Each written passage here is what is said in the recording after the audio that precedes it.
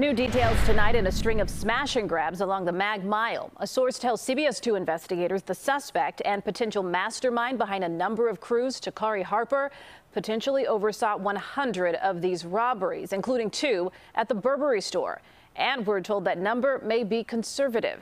He was taken into custody Monday night by the Great Lakes Regional Fugitive Task Force. Prosecutors say Harper identified himself in photos from store surveillance cameras and admitted to the crimes.